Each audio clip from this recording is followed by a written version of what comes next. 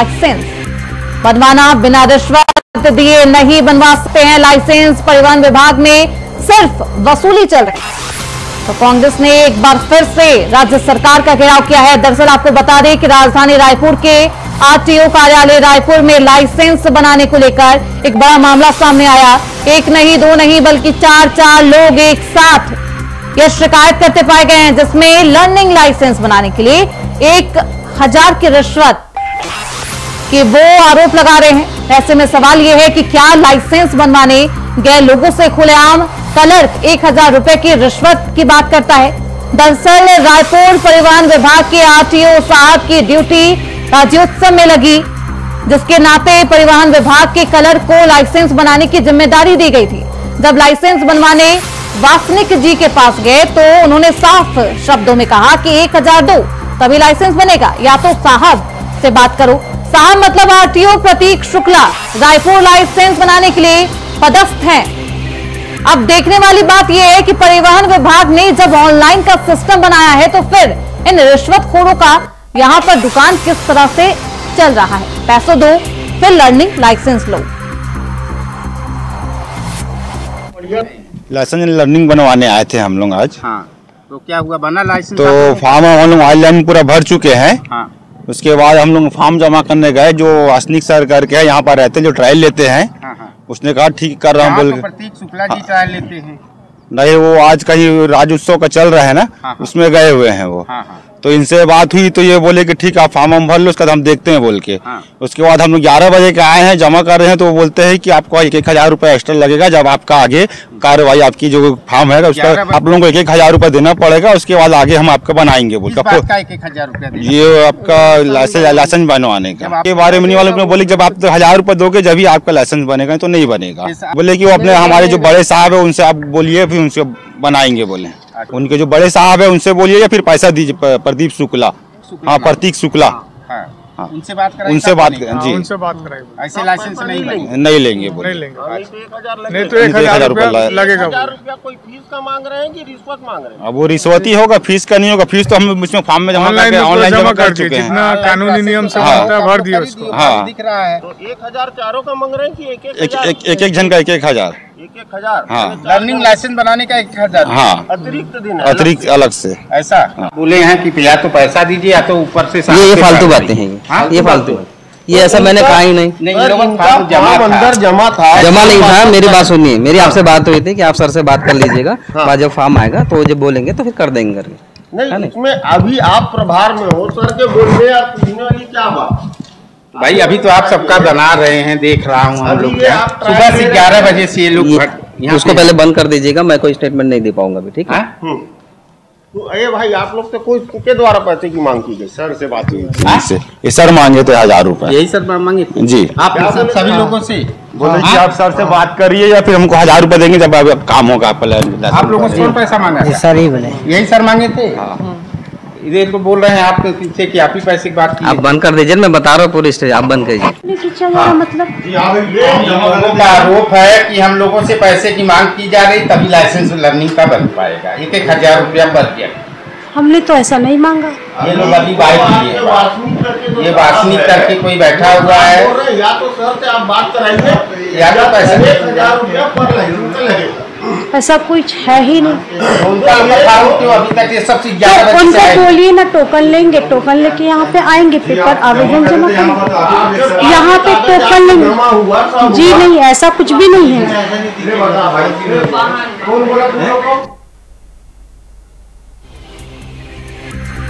तो ये पूरा मामला जहाँ पर प्रशासन की तरफ़ से कहा जा रहा है कि उन्होंने ऐसा कुछ नहीं कहा। हालाँकि लगातार आम जनता ये आरोप लगा रही है। शिकायत दर्ज करवा रही है कि परिवहन विभाग के कुछ अधिकारी रिश्वत लेने की डिमांड कर रहे हैं, रिश्वत मांग रहे हैं। तभी कहा जा रहा है कि लर्निंग लाइसेंस दिया जाएगा। तो बिना रिश्वत दिए नहीं बनवा पाएँगे लाइसेंस तो इस खबर पर ज़्यादा जानकारी के साथ हमारे संवाददाता मनोज शुक्ला रायपुर से हमारे साथ जुड़ चुके हैं। मनोज, क्या कुछ है ये पूरा मामला? बिना रिश्वत के ड्राइविंग लाइसेंस नहीं मिलेगा? जी जी। ज्योति आपको बता दूँ कि परिवहन विभाग में इतना भ्रष्टाचार है कि सिर्फ़ लाइसेंस की बात न करके परिवहन विभाग में किसी काम से आप नई कोई व्हीकल खरीदेंगे या कार खरीदेंगे उसके लिए आप रजिस्ट्रेशन कराने जाएँगे तो बिना रिश्वत दिए आपकी गाड़ी का रजिस्ट्रेशन नहीं हो सकता। लाइसेंस तो की बात तो जो है ही है अब आपको बता दू लाइसेंस पे आते हैं। लाइसेंस कितना ज़रूरी हो गया? अगर राजधानी रायपुर में लाइसेंस नहीं है तो ट्रैफ़िक विभाग जो है वसूली करता है। वही लाइसेंस बनवाने के लिए ट्रैफ़िक विभाग से छुटकारा मिलता है। परिवहन विभाग में बिना रिश्वत दिए लाइसेंस ऐसी आम आदमी का नहीं बन सकता। और आपको महत्वपूर्ण बात बताते कि लर्निंग लाइसेंस जिसकी वैधता होती है दो या तीन महीने उसके लिए हज़ार रुपया देना पड़ता है तब उनका अ, आम जन का लर्निंग लाइसेंस बनता है। और बिना रिश्वत दिए कोई भी आदमी जो है परिवहन विभाग से लर्निंग लाइसेंस नहीं करवा है। ये बड़ा खुलासा सामने निकल कर आया है। और सिर्फ़ लाइसेंस ये लाइसेंस डिपार्टमेंट जो यहाँ क्षेत्रीय कार्यालय ये तो छोटा सा एक ये कहा जा सकता है मोहरा है। कार्यालय में भी गए लोगों से बातचीत भी की क्या कुछ सामने निकल कर आया? जी जी श्रुति आपको बता दूँ कि जब मैं यहाँ पर हमको शिकायत मिली कि इस तरह की बातें वहाँ सामने निकल कर आ रही है तो लाइसेंस बनवाने गए तो उन लोगों ने हम लोगों से संपर्क किया तो हम लोग वहाँ पर जाके पूरी छानबीन किए तो सब पूरी जानकारी ये सामने निकल कर आई कि ऊपर तक पैसा जाता है बिना पैसा दिए किसी का लाइसेंस नहीं बन सकता।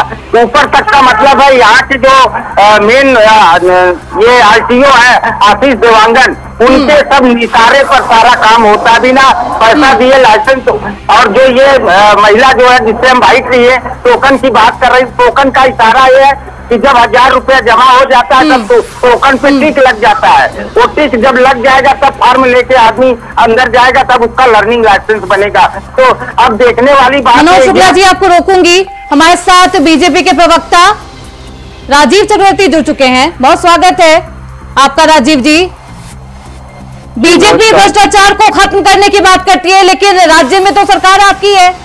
देख ही रहे होंगे क्या कुछ चल रहा है। परिवहन विभाग में जब तक रिश्वत नहीं दिया जाएगा तब तक लाइसेंस नहीं बनेगा। ऐसा दुर्भाग्यपूर्ण है ऐसा हुआ होगा। हाँ। लेकिन ये पहले की व्यवस्था चली आ रही है और हमारी सरकार कोशिश कर रही है। ऑनलाइन सारे बात अ, काम हो रहे हैं। और उसके तहत इसको भी आगे अगर ऐसा हुआ है तो ये हम संज्ञान में ले रहे हैं दोषियों को बख्शा नहीं जाएगा। और आने वाले समय में पारदर्शिता रहेगी और सारा सिस्टम वैसे भी ऑनलाइन करने के बावजूद राजीव जी जनता इतनी त्रस्त है भ्रष्टाचार से कि एक हज़ार जब तक नहीं दिया जाएगा जब तक अधिकारियों के पॉकेट में एक हज़ार नहीं जाएगा तब तक आपको लाइसेंस नहीं मिलेगा। और लाइसेंस नहीं होगा तो ट्रैफ़िक अधिकारी आपसे चालान काटेंगे वो पैसा लेंगे। मतलब दोनों ही तरफ़ से जनता पिट रही है जनता को लूटा जा रहा है। वो, वो ये कब तक संज्ञान लिया जाएगा फिर? बिल्कुल संज्ञान आपके प्रतिष्ठित चैनल में इसे आने के बाद हमने हम्म, संज्ञान किया है। परिवहन आयुक्त जी को इसके बारे में जानकारी दे दी गई है। हाँ। और शीघ्र राजीव जी सरकार बनने में बहुत वक्त हो चला है। उसके बावजूद इस तरीके के मामले अगर सामने आते हैं तो मुझे लगता है सरकार को सोच विचार करना चाहिए। हमारे साथ कांग्रेस के नेता फहीम शेख। मौजूद है। बहुत स्वागत है फहीम जी आपका। ये पूरा मामला जहाँ एक तरफ़ भ्रष्टाचार को मुक्त करने की बात भाजपा सरकार करती है लेकिन धरातल पर इसकी हकीकत इंडिया वॉइस ने आपको दिखा दी है। क्या कुछ हकीकत है? फहीम जी। जी मैडम नमस्कार। तो आपने देखा क्या कुछ हकीकत है? बातें कुछ भी की। गई हो कागज़ी वादे जो भी हो चुनावी वादे जो भी हो धरातल की हकीकत आप इंडिया वॉइस पर देख सकते हैं।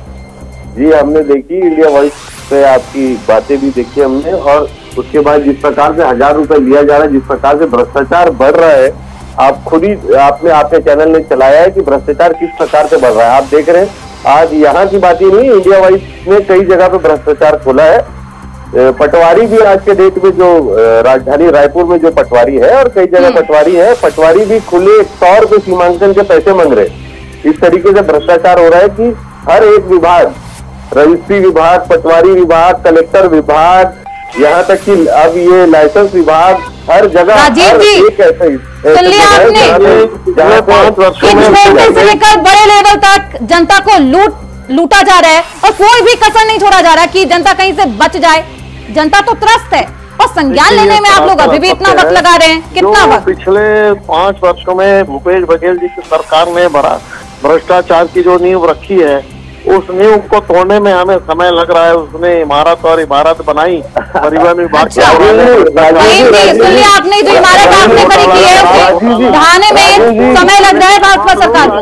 राजीव जी हमें तो पंद्रह साल की इमारत को ढहाने में सिर्फ़ छह महीने नहीं लगे थे साहब। आपको तो इंडिया वाइज में बता दिया है। आपको ढूंढना भी नहीं है आपको इंडिया वाइज में बता दिया है कार्रवाई करें कार्रवाई नहीं कर। रहे हो आप संज्ञान में ले रहे हो इंडिया वाइज ने बताया आपको राजीव जी कि ये भ्रष्टाचारी है ये हज़ार रुपए ले रहा है। आप कार्रवाई नहीं कर रहे हो। मैं आपको बताऊँगा इंडिया वाइज में बीच में एक न्यूज़ चलाई थी एक पत्रकार के साथ मारपीट हुई थी उसके बाद वो थानेदार पैसा मांग रहा था। थानेदार मांडवली के लिए पैसा दे रहा था। उस थानेदार पे कार्रवाई नहीं आज तक उड़ना का थानेदार वही के वही मौजूद है। आपके चैनल के माध्यम से बताना चाहूँगा मैडम आपने चलाई थी एक न्यूज़ कि पत्रकार के साथ मारपीट हुई उर्ला थाने में। उर्ला थाने के जो टीआई साहब है उन्होंने पैसे की मांग की। पैसे की लुभावना दी आपने आपके जी आपने सुना नहीं राजीव जी की बातें। ये कह रहे साफ़ तौर पर जो आपने आपकी सरकार ने काम किया है जो भ्रष्टाचार का वो जो इमारत आपने खड़ी की है उसे ढाने में टाइम लग रहा है उन्हें समय लग रहा है। ये तो ये तो वही बात हुई ना मैडम मोदी मोदी जी जो आज तक आज तक मोदी जी जो है वो हमारे माननीय पंडित जवाहरलाल नेहरू पे टिकरा फोड़ते कि इनकी देन है इसी तरह भूपेश बघेल जी के ऊपर ये लोग टिकरा फोड़ रहे हैं ज़बरदस्ती का। आप पाँच साल का टिकरा कहाँ फोड़ रहे हैं साहब? जनादेश तो आपको मिला है आपकी सरकार है। भूपेश बघेल जी की सरकार है क्या? आज अभी भी आप लोग विपक्ष से बाहर नहीं आ पाए क्या? राजीव जी। नहीं देखिए सरकार किसी की भी रहे सरकार के अंदर जो ये तंत्र है उसे मतलब सरकार किसी की भी रहे, जनता से रहे और इस रहेगा। प्रकार से इसी प्रकार से जो लैक्यूना है उसे तोड़ने का हम प्रयास कर रहे हैं। आने वाले समय में आपको इसकी शिकायत नहीं मिलेगी एक बिल्कुल ये संज्ञान किया जा रहा है। और ये सिस्टम के बैठे अधिकारी इस प्रकार से हरकत करते हैं। हम्म। उसे हटा दिया जाएगा और बिल्कुल किसी भी दोषियों को बख्शा नहीं जाएगा। राजीव जी वो जो अधिकारी जिसकी जिसके खिलाफ न्यूज़ चली उस पर आज आज के आज या कल के कल कार्रवाई होगी कि नहीं होगी? हाँ देखिए मैं तंत्र में नहीं बैठा हूँ मैं तो सिर्फ़ पार्टी का पक्ष रख सकता हूँ। बिल्कुल होगी और हमने इसका संज्ञान ले लिया है और राजीव जी अगर आप पार्टी का पक्ष रखेंगे तो जनता का पक्ष कौन रखेगा फिर? बिल्कुल सबको ही हम और आप मिलकर रखेंगे और जनता का पक्ष रखा जा रहा है। हम्म। और आने वाले समय में आपको इसका दिखेगा कि इस प्रकार के जो सिस्टम में जो कर्मचारी हैं जो अधिकारी हैं जो इस प्रकार ठीक है राजीव जी सिस्टम की ये गंदगी भ्रष्टाचार वाली गंदगी कब तक खत्म होती है जनता भी इसका इंतज़ार कर रही है। बहुत शुक्रिया राजीव जी फहीम शेख जी अपना समय देने के लिए। हमारे साथ हमारे संवाददाता मनोज लगातार बने हुए हैं। मनोज अभी तक क्या कुछ कार्रवाई की गई है? क्योंकि इंडिया वॉइस की तरफ़ से लगातार ये खबर दिखाई जा रही है क्या कुछ प्रशासन की तरफ़ से कार्रवाई की गई? इस कृषि आपको बता दूँ कि ये परिवहन विभाग छत्तीसगढ़ में मुख्यमंत्री विष्णुदेव साय के पास है और ऐसे में इस प्रकार के खुलेआम भ्रष्टाचार देखने को मिल रहा है और राज्योत्सव का आज आखिरी दिन है। ये कल से ये समाचार चल रहा है और सीएम साहब की व्यस्तता के कारण अभी से उनके तक बात नहीं पहुँच पाई है लेकिन अगर उनके तक बात जाएगी तो निश्चित रूप से उस पर कड़ी कार्रवाई देखने को मिलेगी। फ़िलहाल अभी उनकी व्यस्तता चल रही है आज व्यस्तता उनकी खत्म हो जाएगी। और संभवतः जो है ये माना जा रहा है कि कल इस समाचार के चलने के बाद तो कल कोई बिल्कुल बड़ी क्या कुछ कार्रवाई की जाती है? मनोज बहुत देखना बेहद दिलचस्प होगा। बहुत शुक्रिया मनोज आपका इन तमाम जानकारियों के लिए। तो कांग्रेस ने भी इस पूरे मामले पर अब सवाल उठाए हैं, राज्य सरकार का घेराव किया है। हालाँकि दोनों ही तरफ़ से आरोप प्रत्यारोप का दौर जारी है। क्या कुछ कार्रवाई होती है पुलिस प्रशासन की तरफ़ से? देखना बेहद दिलचस्प होगा। खबरें बढ़ते आगे। लखनऊ से बड़ी खबर सामने आ रही है। यूपी की सियासत में पोस्टर वोट जारी है। यूपी के सियासी गलियारों में पोस्टर वोट की चर्चा तेज है। चारों ही ओर मठाधीश बटेंगे और कटेंगे। पीडीए जोड़ेगी और जीतेंगी। अब एक और नया पोस्टर सामने आया है। हम साथ रहेंगे तो सारा जहाँ हमारा है। सारे जहाँ से अच्छा हिंदुस्तान हमारा है। अशोक सिंगल चौराहे पर लगाया गया ये पोस्टर, सपा नेता कामरान बेग ने ये पोस्टर लगाया है, जिस पर सियासत फिर से शुरू हो गई है। यूपी की सियासत में पोस्टर वॉर थमने का नाम नहीं ले रहा। सीएम योगी के बटेंगे तो कटेंगे वाले बयान के बाद पोस्टर बो- पोस्टर बाजी का जो ये दौर है, यूपी की जनता खूब देख रही है। पोस्टर के ज़रिए सियासी दल एक दूसरे पर हमलावर है। आए दिन कोई ना कोई पोस्टर राजधानी लखनऊ की सड़कों में देखने को मिल ही जाता है। ऐसे में सपा का एक और पोस्टर सामने आया जो कि चर्चा का विषय बन गया। क्योंकि इस पोस्टर में हम साथ रहेंगे तो सारा जहाँ हमारा है ये बातें लिखी गई है।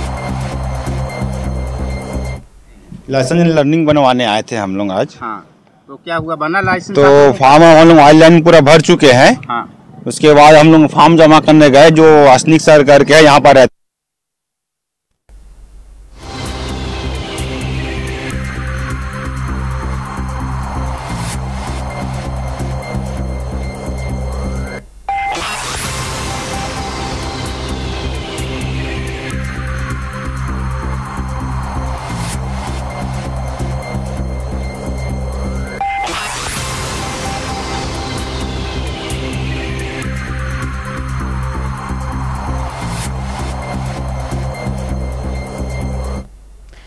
हमीरपुर से एक बड़ी खबर सामने आ रही है। पत्रकारों की पिटाई का ये मामला, बीजेपी नगर पंचायत अध्यक्ष पवन अनुरागी पर एक्शन। बीजेपी ने पार्टी से निष्कासित किया है। प्रदेश महामंत्री गोविंद नारायण शुक्ला ने निष्कासित किया है। पत्रकारों के परिजन बीजेपी जिलाध्यक्ष के घर मिलने पहुँचे हैं। बीजेपी जिलाध्यक्ष ने बीजेपी प्रदेश अध्यक्ष को पत्र लिखा था। निष्कासन के बाद पवन अनुरागी को पुलिस ने पकड़ भी लिया है, गिरफ़्तार कर लिया गया है पवन अनुरागी। पार्टी से निष्कासित भी कर दिया जा चुका है। सैकड़ों पत्रकार पवन की गिरफ्तारी की मांग कर रहे थे। सरीला नगर पंचायत क्षेत्र के रहने वाले पीड़ित पत्रकार के लोगों की मांग है ये, और ऐसे में पवन अनुरागी को गिरफ़्तार कर लिया गया है। ये पूरा मामला हमीरपुर का है, जहाँ पत्रकारों की पिटाई के आरोपी नगर पंचायत अध्यक्ष सरीला पवन, अनुरागी की भाजपा से छुट्टी हो गई है। पार्टी ने उन्हें बाहर का रास्ता ज़रूर दिखा दिया है, लेकिन इस पर सियासत भी खूब की जा रही है। अखिलेश यादव ने एक ट्वीट भी लिखा।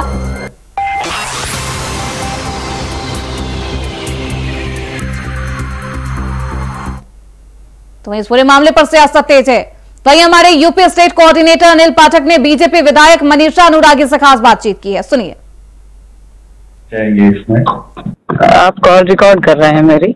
अब ज़ाहिर सी बात है मैंने तो पहले अपना परिचय बता दिया जी जी। हाँ, नहीं तो मैंने तो पहले ही बोला जब हमारे दल के हैं तो हमारे दल के लोगों के साथ ही फ़ोटो होगी उनकी और किसी के साथ तो नहीं होगी। बाकी विषय जो विषय जो वाला है जिस पर आप चर्चा कर रहे हैं तो देखिए जो उन्होंने किया है तो वो तो उसके ऊपर मुकदमा भी उनके ऊपर लिखा गया है। उसमें गिरफ्तारी भी शायद हो गई है।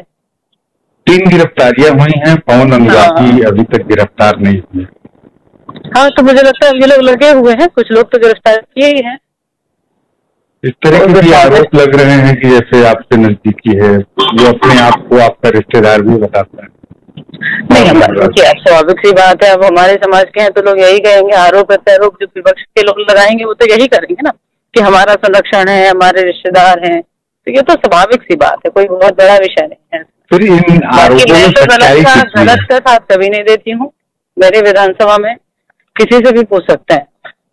क्या है ये? कार्रवाई करने के लिए तत्पर हूँ और करती भी वही अच्छा जो वीडियो वायरल हुआ है जर्नलिस्ट का आपके संज्ञान में है या नहीं? हाँ हाँ वो तो संज्ञान में है मेरे आपको लगता है कि ये छोटा कृत्य है? मतलब नहीं इस तरह से तो देखिए हम लोग कभी भी इसका उसके लिए बढ़ावा नहीं देते किसी को भी नहीं देते। अपने लोगों को तक सबको बोलते हैं कि भाई इस तरह की घटना कभी नहीं होनी चाहिए, जो हुई है ऐसे। और इनसे तो नहीं, मेरी बातचीत हुई जब से ये किए हैं, पता नहीं कहाँ होंगे। तो वहीं आज छठ महापर्व का दूसरा दिन है। इस चार दिन के उत्सव में छठ पूजा को लेकर धूम देखी जा रही है। लोक आस्था के महापर्व को लेकर। आरा के गोपाली चौक पर खरीदारी जारी है। महँगाई के कारण थोड़ा बाज़ार सुस्त है। लेकिन लोक आस्था का महापर्व को लेकर छठ में व्रत करने वालों के द्वारा खरीदारी की जा रही है। वहीं छठ महापर्व को लेकर हमारे संवाददाता नेहा गुप्ता ने लोगों से खास बातचीत की है। सुनिए। आस्था का महापर्व को लेकर जहाँ एक और आरा का बाज़ार रौनक दिख रहा है। चार दिवसीय यह आयोजन है। बता दें, आज खरना है। कल नहाय खाए से शुरू हुआ। इसके बाद कल जो डूबते हुए सूर्य को अर्घ दिया जाता है, उसके बाद आपको सुबह में उगते हुए सूर्य को अर्घ दिया जाता है। भोजपुर सहित बिहार के विभिन्न हिस्सों में यह आयोजन किया जाता है। छठ को लेकर लोगों में गजब सा उत्साह है। खासकर अगर बाज़ार देखें तो आपको देखा दें कि फल का जो बाज़ार है बिल्कुल सज चुका है और जो छठ व्रतियाँ हैं वो खरीदारी कर रही हैं। जानते हैं कि भैया ये बताइए कि कैसा है अभी बाज़ार? ये बाज़ार में कुछ जान नहीं है मैडम क्यों? जान क्यों नहीं है? पता नहीं अब क्या बताया जाए समझ में नहीं आ रहा।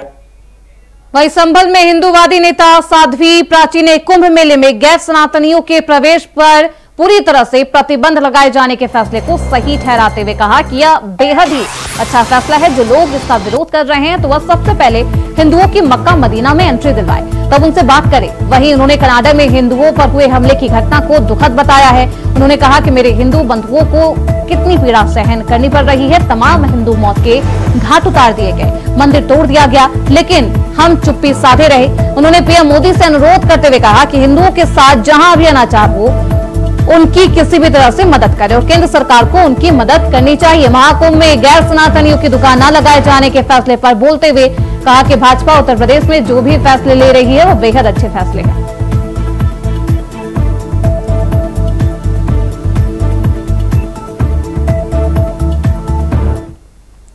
वही खबर मथुरा से जहाँ नगर आयुक्त ने मोटरसाइकिल से परिक्रमा मार्ग का निरीक्षण किया। दरअसल देव उठानी एकादशी और अक्षय नवमी पर लगने वाली परिक्रमा को देखते हुए नगर आयुक्त ने परिक्रमा मार्ग का निरीक्षण किया। अगले हफ़्ते से मथुरा वृंदावन में देवोत्थान एकादशी और अक्षय नवमी की बड़ी ही परिक्रमा लगेगी।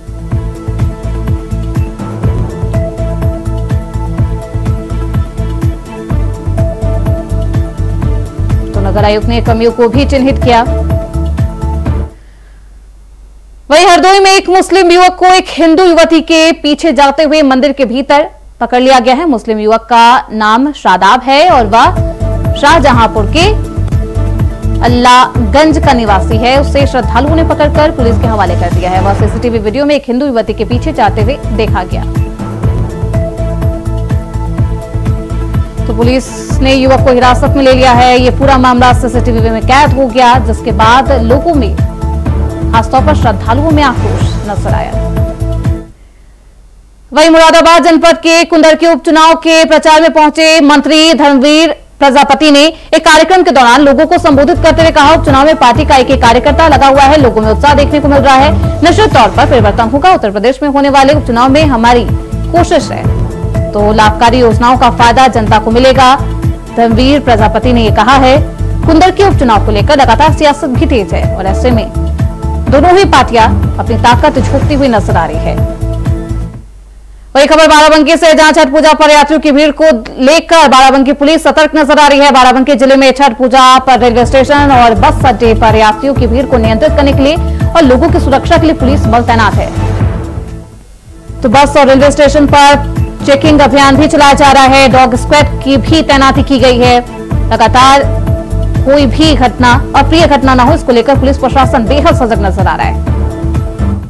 खबर अमरोहा से है, जहाँ स्टंटबाजी का जानलेवा खेल थमने का नाम नहीं ले रहा। दो ट्रैक्टर चालकों का स्टंट करते हुए वीडियो सोशल मीडिया पर वायरल है। वीडियो में दोनों सड़क पर जमकर हुड़दंग करते हुए नज़र आ रहे हैं। तो वीडियो सोशल मीडिया पर वायरल हो गया है और ट्रैक्टर चालकों का ये स्टंटबाजी का ये वीडियो सोशल मीडिया पर तहलका मचा रहा है।